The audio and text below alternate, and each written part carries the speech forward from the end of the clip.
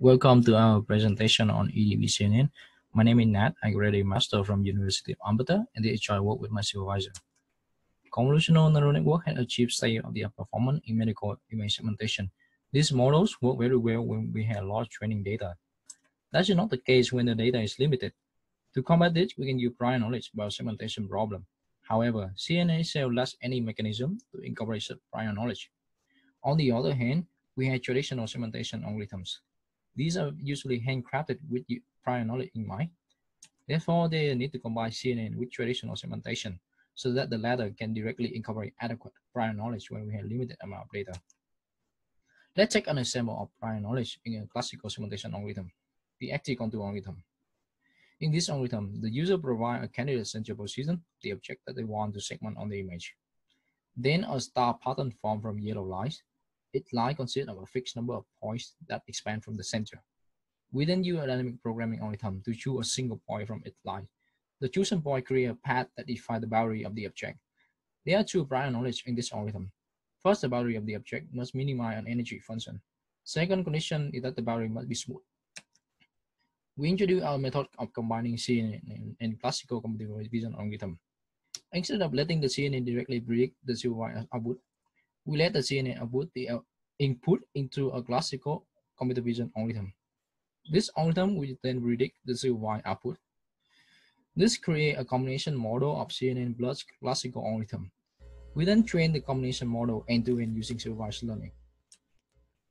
To illustrate this idea, in our work, we combine UNet with active contour algorithm, mentioned previously.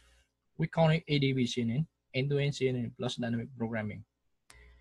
We have an image that goes through UNet with provide an output map. Then the star pattern is applied onto that output map. An interpolation module is then used to extract the values on the star pattern. Then we use an act, the active contour algorithm on the values to extract the chosen point. Then we can project this point back onto the image to get the object boundary. The active contour algorithm has the argmin function shown by the arrows, making it non-differentiable. Backpropagation does not work for model that non-differentiable modules. To solve this, we introduce a novel general-purpose concept called a differentiable bypass.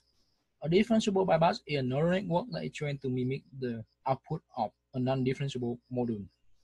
During backpropagation, we use the gradient of the differentiable bypass as a substitute for the gradient of the non-differentiable module. This slide shows the model and the final training algorithm. There are two loops in the training algorithm.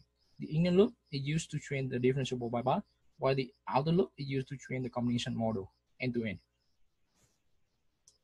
For experiment, we test on the left ventricle segmentation task on the ACDC and LV-QuANT 2018 dataset.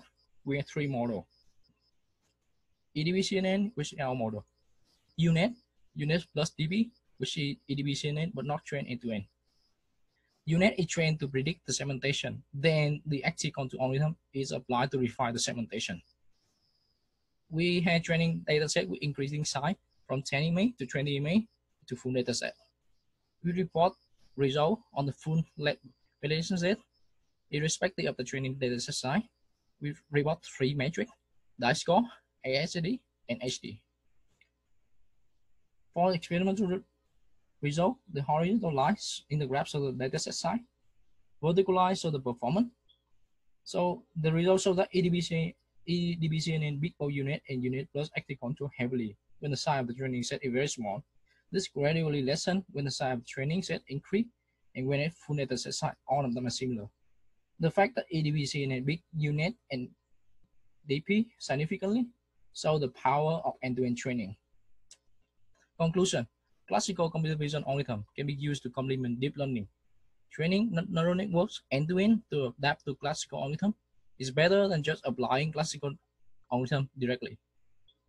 Differentiable bypass can facilitate, can facilitate learning of differentiable and non-differentiable models together end-to-end, -end, and there's a potential to use this differentiable bypass concept to any kind of, of module, not just CNN and algorithm.